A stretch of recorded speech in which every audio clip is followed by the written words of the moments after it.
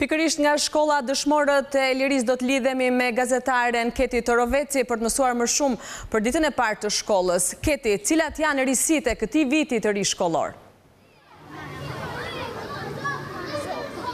Përshëndetje Arjeta, në fakt viti i ri shkollor ka nisur ditën e sotme që në orën e parë, orët e para të mëngjesit, oborret e shkollave janë të tej mbush, u mbushën plot edhe në këto moment që ne po flasim janë të tejmbushura me nxënës dhe me prindër që i kanë shoqëruar në këtë ditë të parë të shkollës.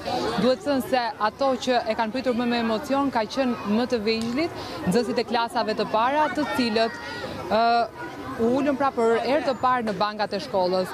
Megjithatë duhet thënë se janë rreth 29.000 fëmijë që janë ulur dhe që janë regjistruar në klasë të parë dhe gjithashtu është në këto, në këto, te këto fëmijë përfshihen edhe ato fëmijë të cilët nuk e kanë mbushur moshën 6 vjeç, por që janë regjistruar pra në klasë të parë dhe mbushin këtë moshë në dhjetor. Ka pas interesim nga prindërit për t'i regjistruar edhe këtë kategori fëmijësh.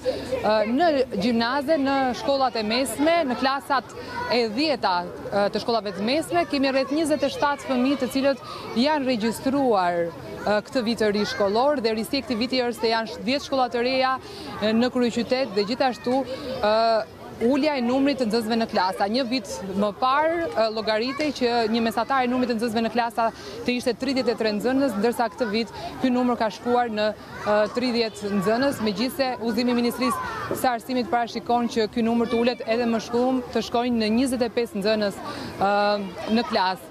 Shpërndarja e teksteve shkollore ka përfunduar javën e kaluar, çdo gjë ka ecur normalisht nga klasa e parë në klasën e tretë, tekstet shkollore janë marrë falas dhe më pas Nga klasa e katërt në të nëntë ato janë marrë në përdorim. Një problematikë e vjetër duhet thënë se është mësimi me turne, në fakt do të vijojë edhe këtë vit shkollor, do të mësohet edhe paradite dhe masdite në një pjesë të shkollave të kryeqytetit ku dhe popullsia është më e madhe.